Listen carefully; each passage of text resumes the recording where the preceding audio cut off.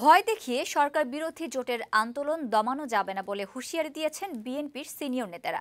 রাজধানীতে আলাদা কর্মসূচিতে অংশ নিয়ে তারা বলেন, সহিংস কর্মসূচি নয়, জনগণের শান্তিপূর্ণ, ঐক্যবদ্ধ আন্দোলনে ক্ষমতাসীনদের একদলীয় শাসন রুখে দেয়া হবে। গণতন্ত্রের স্বার্থে অবিলম্বে দ্বাদশ সংসদ নির্বাচন বাতিল করে গ্রহণযোগ্য নির্বাচনের উদ্যোগ নেয়ার আহ্বান জানান বিএনপি ও সমমনা দলগুলোর নেতারা।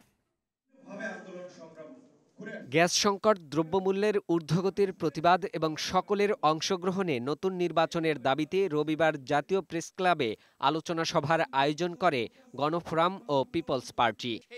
জনগণ বিদ্রোহী হওয়া ছাড়া এতে যোগ দিয়ে বিএনপি নেতৃত্বাধীন জোটের শীর্ষ নেতারা বলেন সরকারের একের পর এক ব্যর্থতায় গণতন্ত্র ও অর্থনীতি হুমকির মুখে পড়েছে। মানুষের অধিকার প্রতিষ্ঠায় গণতান্ত্রিক উপায়ে আন্দোলন অব্যাহত থাকবে বলে জানান বিএনপি নেতা আব্দুল মঈন খান।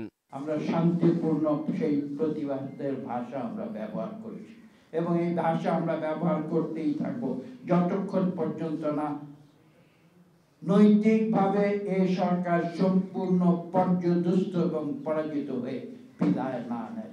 এদিকে ঢাকা রিপোর্টার্স ইউনিটি মিলনায়তনে আলোচনা সভার আয়োজন করে নাগরিক ঐক্য এ সময় বক্তারা বলেন ক্ষমতার জন্য নয় জনগণের সরকার প্রতিষ্ঠায় আন্দোলন করছে বিরোধী জোট আরও বেশি ইন্টারাকশন করে আরও বেশি ব্রেন স্টর্মিং করে আমাদের সেই লড়াই গড়ে তুলতে হবে কারণ এখানে ন্যূনতম কোনো ছাড় দেওয়ার সুযোগ নেই।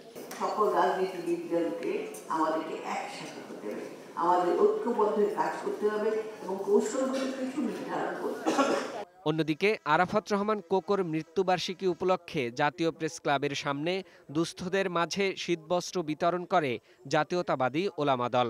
এতে অংশ নিয়ে বিএনপি নেতা জয়নুল আবিদিন ফারুক বলেন গত পনেরো বছরে সংসদকে প্রশ্নবিদ্ধ করেছে আওয়ামী লীগ।